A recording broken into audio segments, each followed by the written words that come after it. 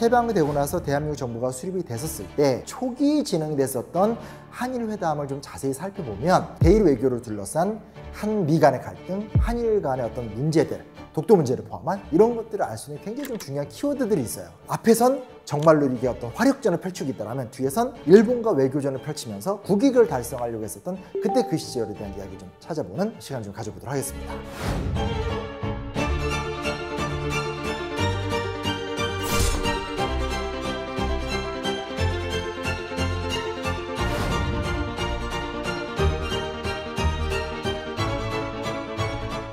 해방이 됐어요. 드디어 내 나라가 된 거예요. 얼마나 기분이 좋아요. 일본은 패망을 했잖아요.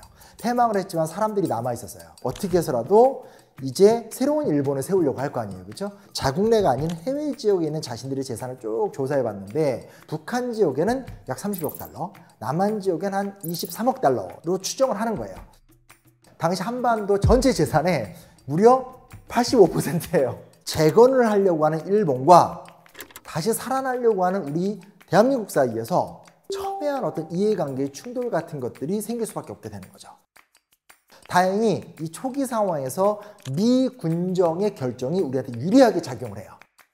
1945년 8월 9일 날 일본의 국공유 재산에 대한 처분 금지 명령이 내려지게 됩니다. 그 다음에 9월 28일 날 그러니까 해방된 지 얼마 안 됐죠. 일본 육 해군의 군 재산이 미국의 소유로 귀속이 된다라고 더 보다 더 정확하게 명령을 내려요. 45년 12월 6일 날 미군정 법령 제33호 이게 되게 중요합니다. 여기서 일본인 사유 재산의 소유권은 물론이고 그 양도 절차마저 무효화시켜 버립니다. 그 얘기는 우리한테 정말 기사회생의 길이에요. 왜냐?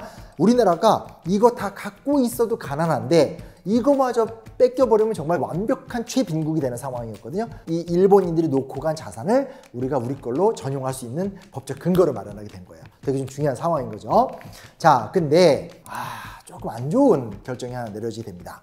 연합국 배상위원회의 폴리 대사가 한국이 일본으로부터 배상받을 수 있는 국가로 고려될 자격이 없다라는 말을 남겨요. 그러니까 무슨 얘기냐? 사실은 일본이란 나라가 그냥 미국과만 싸운 것이 아니라 중국, 동남아시아 여러 나라들과 막 충돌하면서 전쟁을 진행했기 때문에 미국과 연합국의 수많은 여러 나라들과의 어떤 동의와 절차 관계를 거쳐서 일본이 정상 국가가 돼야 되는데 그 전체 처리 과정을 위한 어떤 회의를 진행할 거 아니에요. 한반도 내에 남겨져 있는 일본인 재산에 대해서는 우리가 이거는 일본으로 안 넘어가게 해줄게. 그러나 니네가 뭐 특별히 일본과 싸운 게 있는 것도 아니고 한국 사람들은 관, 관심 있고 약간 이런 식의 뉘앙스가 나타나게 되는 거잖아요. 그러니까 이제 여기서 우리나라 정부가 아 이건 안 된다. 무슨 수를 써서라도 이 회의에 우리가 들어가야 된다 하면서 두 가지 외교전을 펼치게 돼요.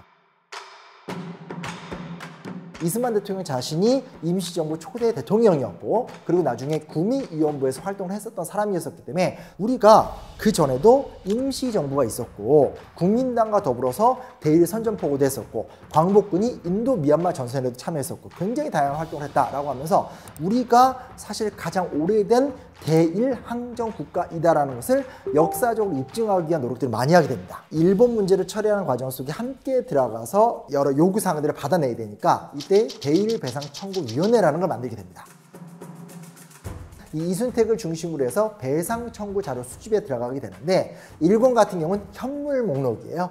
금, 은, 서적, 미술품, 골동품 굉장히 초미의 관심사였었던 선박, 지도 원판 같은 것들 왜냐면 이것도 대한민국의 정보가 되는 거니까 이런 현물 목록을 작성했고요. 두 번째는 이제 9월 달에 2권이 완성되게 되는데 전쟁과는 직접 관련이 없는 한일 간의 확정 채권 그리고 중일 전쟁 및 태평양 전쟁 중에 한국인의 인적 물적 피해 그리고 일제의 강제 공출 등 수탈로 인한 손해 등을 경제적으로 이렇게 다 정리를 하게 되는 거예요. 대일 배상 요구 조서를 통해서 나왔었던 금액이 약 그 당시 돈으로 310억 원, 어, 당시 달러로 약 20억 달러 어로 이제 우리가 정리를 하게 됩니다. 이건 무슨 얘기냐면 우리가 어, 승전국이다라는 걸 사실 전제로 해서 이야기를 했던 거예요. 그러니까 우리가 이제 계속 외교전을 펼쳤던 거죠. 그리고 이제 이런 거 있잖아요. 우리가 이제 막 임시정부, 독립운동 이런 이야기도 많이 하지만 영국이나 미국 같이 당시 세계를 주도하고 있는 나라들한테 어필하려면 보다 더 확실한 어떤 국제 조약 같은 게 있어야 돼요. 그래서 이제 우리가 또 밀어붙였던 게 뭐냐? 카이로 선언이에요. 카이로 선언. 충칭 임시정부가 장제스 총통과의 협력을 통해서 한반도의 동기를 보장하는 조약이 카이로 회담에서 딱 맺어졌거든요. 그리고 카이로 회담의 내용이 나중에 포츠담 선언에 계승이 되거든요. 이건 분명한 국제법적 사실이에요. 임시정부, 독립운동사, 대일항전, 카이로 회담, 포츠 담 회담. 즉 우리의 투쟁은 대일항전이고 우리의 투쟁을 너희들이 회의를 했었던 국제회담에서 합의하지 않았냐.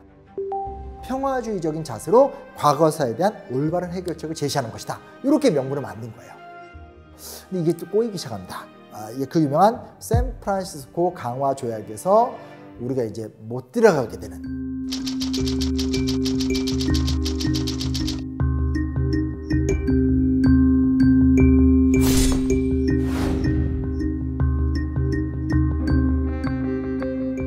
1948년 9월 30일에 이승만 대통령은 국회에서 발표된 신정부 시정연설. 지금도 그런 거 많이 하잖아요. 딱 되면 이제 뭐 100일 취임 연설 뭐 이렇게 하듯이 하는데 일본의 제국주의적 침략주의의 완전한 포기와 금후의 민주주의 국가 재건을 엄중히 감시하고 장래 한국이 연합국의 일원으로서 대일 강화 회의에 참가할 것을 연합국에 요청한다.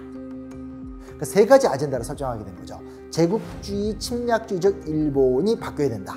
우리나라는 민주주의적 국가로서 재건이 될 것이다. 마지막 우리는 연합국의 일원으로서 함께 국제 평화에 임할 것이다. 세 가지 비전을 제시했던 거죠. 그래서 이런 식으로 이제 어필을 계속 했던 겁니다.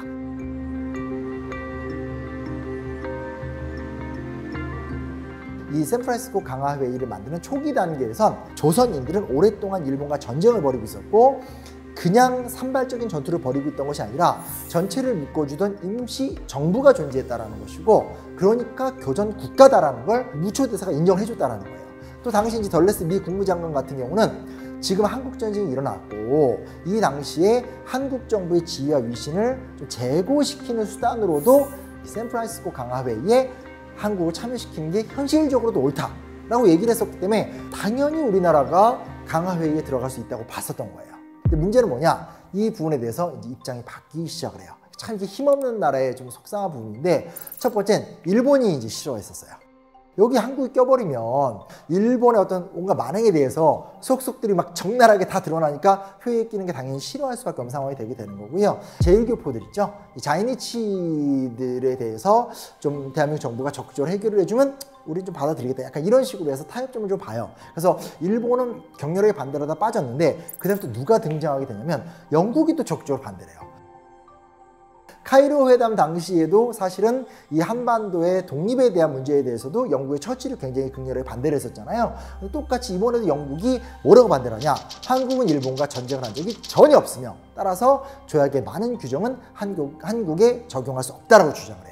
미국의 입장에서 동아시아판을 새로 짜는 것과 여전히 식민지 제국을 유지하고 싶어하는 영국 입장의 입장 차이도 좀 컸던 것 같아요. 어떤 간에 영국이 또 반대를 하게 됩니다. 이러면서 이제 문제가 생기다가 결정적으로 최악의 상황은 미국도 입장을 바꿔요. 그러니까 미국은 이 당시에 일본이란 나라를 개혁을 하면서 민주주의 국가로 재건을 하려고 하는데 그 뭐가 많이 들어요? 돈이 많이 들죠. 근데 한국이 배상을 요구하면 겉으로 보면 일본이 배상을 해주는 것처럼 보이지만 미국 돈이 일본을 거쳐서 한국에 들어간다고 생각하게 된 거예요. 그에 대한 부담이 컸던 거죠. 그래서 1951년 초반기까지만 하더라도 누가 보더라도 당연히 어, 이 한국이 샌프란시스코 강화 회의에 들어갈 줄 알았는데 결과적으로는 첫째 일본의 반대, 영국의 반대, 세 번째 미국의 반대 속에서 우리가 들어가지 못하는 상황으로 귀결이 되게 되는 거죠. 그래서 실제로 51년 9월 달에 어, 결국은 샌프란시스코 조약이 맺어지게 되고요. 일본이 정상 국가로 이제 전환하게 됩니다.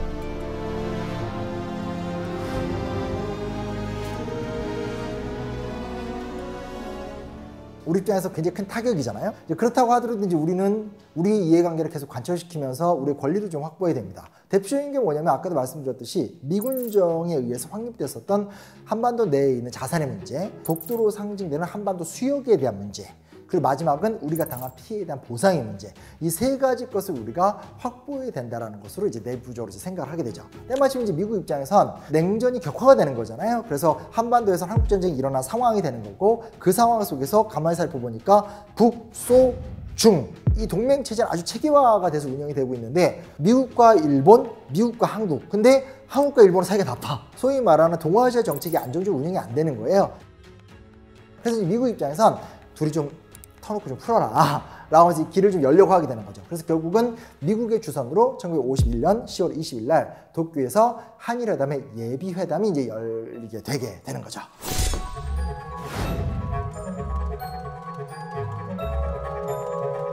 이 당시 이제 예비회담의 수석 대표는 양유찬이었는데 이제 서로 간에 이제 모두 발언 이런 발언 시간들이 있잖아요. 우리는 지난 날의 원한을 버리고 모든 문제를 해결함으로써 양국의 새로운 출발을 개려간다. 우리는 지난날 당신들이 저지른 행위에 배상 같은 것을 요구하지도 않겠다. 이제 우리는 화해하자. 과거 식민지를 겪었던 입장에서 이런 이야기하는 거 쉽지 않거든요. 그만큼 우리가 굉장히 평화주의적 태도가 강했다는 걸 좀 볼 수 있는데 어, 당시 일본 측 대표의 태도가 아주 좀 마음에 안 듭니다. 화해하자 이렇게 우리가 말하니까 그쪽에선 도대체 무엇을 화해하자는 말입니까? 이렇게 나왔다는 거예요. 우리 크게 참고 좀 내려놓고 은원관계 정리하고 새롭게 가자로 얘기하고 있는데 실질적으로 풀어야 되는 문제에 대해서도 아 이거 좀 좋게 안 나올 것 같은데 약간 이제 이런 문제가 되는 거죠. 근데 그 상황에서 사실은 내부적 또 하나 문제가 뭐가 있었냐면 맥아더 라인 때문에 좀 고민이 많았어요. 미국이 일본을 점령하면서 일본을 옥죄기 위해서 야 너네 해상 활동 금지야. 열도에 있는 아주 최소한의 수역을 제어하고 나머지 관심도 갖지 마. 이러면서 라인 하나 설정해 놨거든요. 근데 시간이 지나면서 여러 입장과 상황이 바뀌게 되니까 맥아더 라인이 점점 좀 넓어지는 거예요. 미국은 한반도 문제나 동아시아 문제, 한일 문제에 대해서 깊이 잘 모르는 거죠. 그래서 오랜 어떤 우리의 어떤 영유권 문제, 울릉도, 독도, 그리고 한반도 일대의 여러 부속도서의 문제들 이런 부분에 대해서 우리가 얼마나 예민한지 오랜 기간 동안 이건 우리 땅이고 저쪽은 일본 땅이고 이런 걸 잘 모르는 거예요. 얘 이대로 가면 큰일 나겠다. 이러다 보면 이거 동해니 뭐 독도니 뭐니 다 뺏기겠다. 이런 생각을 하게 되죠. 이거 어떻게 타개할 것이냐. 이러면서 이제 1952년 1월 18일 날 이스만 대통령이 대한민국 인접해양의 주권에 대한 대통령의 선언 일명 레이라인 어, 이승만 평화선을 선포를 하게 됩니다. 어우 강경하게 나온 거예요. 그래서 핵심이 뭐냐면 아, 대한민국 연안 수역 보호를 위한 해양 주권선이다.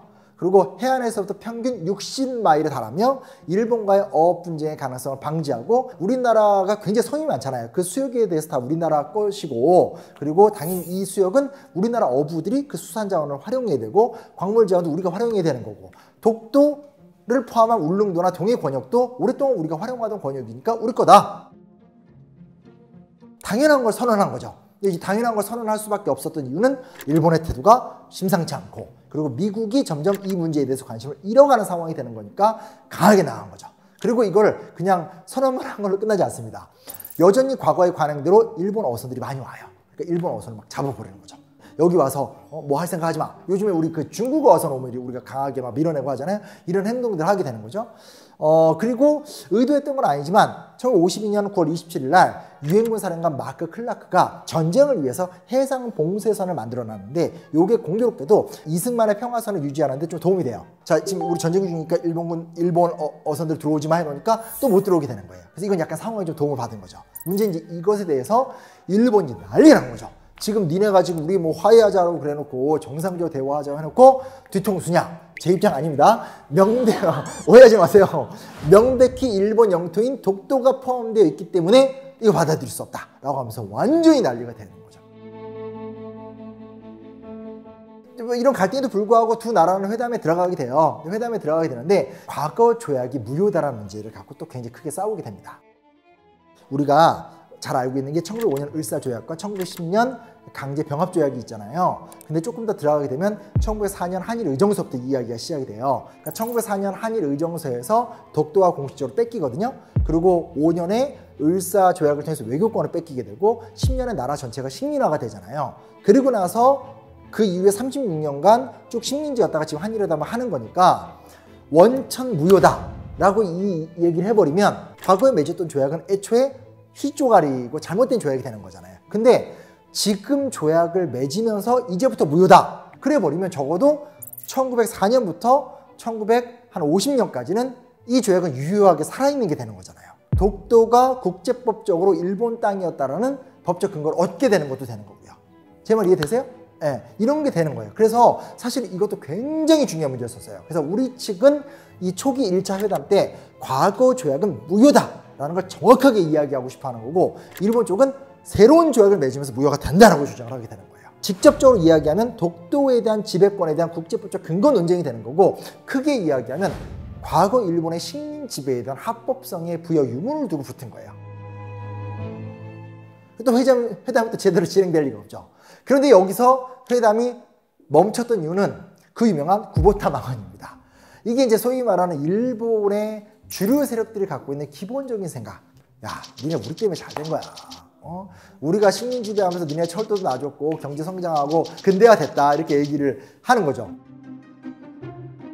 그러니까 이제 여기 이제 완전히 우리 측에서 이제 열받는 거죠. 하면서 강력하게 그 발언 취소해라. 라고 해서 막 싸우게 되면서 결국은 이제 회담이 결렬이 되고 맙니다. 그러니까 어쩔 수 없이 끌려 나온 일본과 이걸 통해서 뭔가 새로운 역사의 지평을 만들어가고 싶은 한국 간의 외교의 태도가 달랐던 거고 우리의 주권 영역에 대한 확신, 그 한일 간의 인정, 그 안에서 실효적으로 인정받아야 될 부분에 대한 확보들 이런 것들이 우리 입장에서는 중요한 문제가 됐던 거죠. 근데 일본 입장에선 그런 것들 하나하나가 일본은 받아들일 수 없는 것이고 아주 모욕적인 태도로 나타나게 되면서 결렬이 되게 되는 거죠.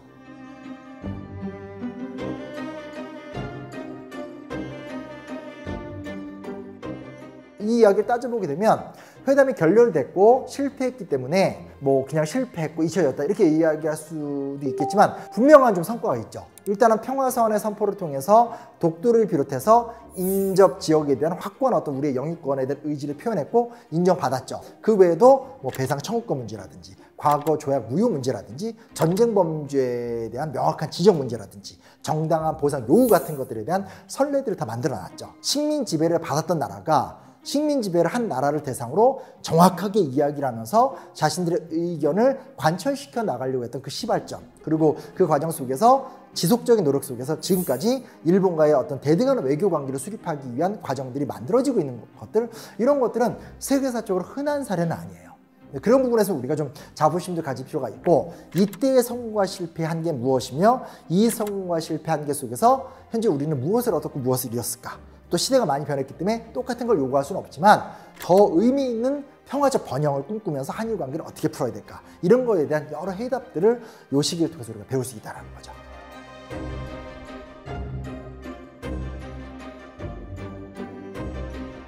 우리가 알고 있는 건 전선의 변동과 끊임없는 전투 위주의 기억들을 많이 이야기하고 있지만 실제로 따져보게 되면 전쟁이 일어났을 때 사람들은 어떤 삶을 살았는가 정부는 후방에서 어떤 노력을 해야지만 나라를 지킬 수 있었는가? 여전히 전쟁 중에도 외교, 이해관계, 그리고 동맹국 사이에서 갈등 이런 것들도 있구나.